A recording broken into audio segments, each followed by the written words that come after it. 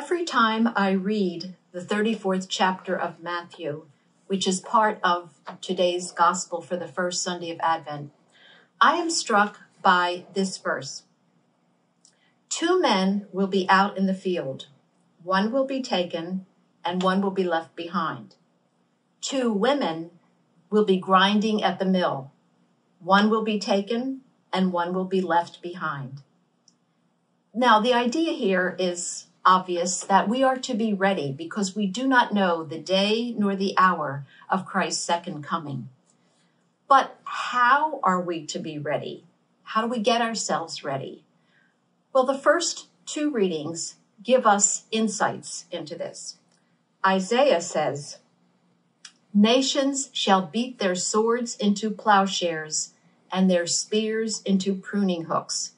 They shall wage war no more. No more war. There will be peace, justice, and mercy. St. Paul uses different pictures, but essentially says the same thing. Paul says, put on the armor of light, not warrior uh, battles, but the armor of light. And he says, he goes on to say, put on the Lord Jesus Christ. And what did Christ do? Christ showed us how to live by works of peace, justice, and mercy. But um, let me go back to those two words of like two men and two women, and probably I focused on them because of my lifelong ministry on behalf of LGBT people. I recently returned from Poland, which is the land of my heritage, my grandparents, but I wasn't um, too happy. I was kind of saddened because I didn't see um, some peace, justice, and mercy that I had hoped to see on behalf of LGBT people. For example, the Archbishop of Krakow, in a homily, spoke of Poland being rid of the Red Menace, but he said now that Poland was being invaded by the uh, Rainbow Menace. Well, that's not peace, justice, and mercy talk. In another diocese, another bishop commended an author who had written an article calling LGBT people traveling rapists. Again, this is not the language of peace, justice, or mercy. And uh, in another diocese, there was a march on behalf of equality for LGBT people. And prior to the march, the bishop uh, called the march an act of discrimination against Catholics. Well, the march had nothing to do with Catholics, it had to do with equality for LGBT people. So this kind of saddened me, of course. But then you might ask, well, um, do I have any hope? Isn't Advent supposed to be uh, a time of hope? Uh, where is my hope when I see things like this for the people that I've been working for during my lifetime? Well, I have to say I do have hope. I have lots of hope, um, not only for LGBT people, but for the whole church. But I'd like to share just three points of hope with you. Um, first um, is about marches, those equality marches that I saw in in Poland. Well, we have them all over the world, and that gives me great hope.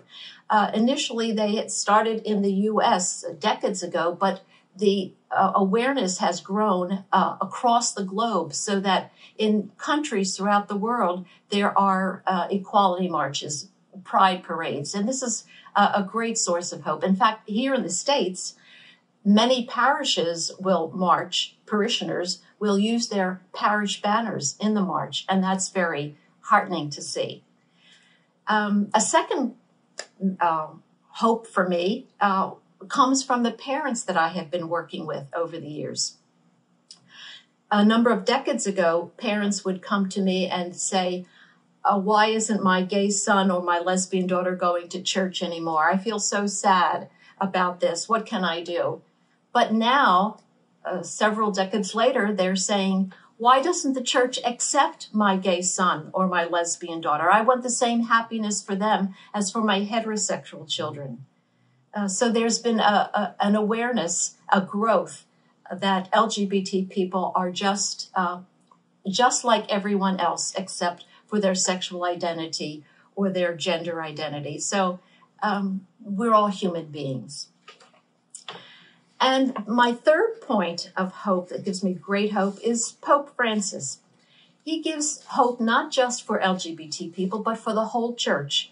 He is calling us to work as a community, calling us to what the Second Vatican Council uh, told us that we were the people of God. He's asking us to come together in synods, just as he's having synods or meetings with the bishops.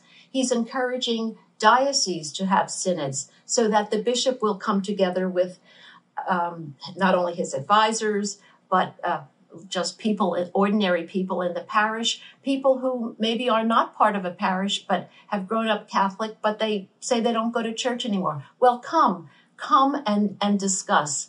Let's all pray together. Let's express our views. Let's set a direction for the future that will lead us to this second coming, that will lead us to work for peace, justice, and mercy. So many things give me hope this Advent. I really believe that we as a human family are marching maybe slowly, but we're still marching toward this second coming of Christ by engaging in works of peace, justice, and mercy.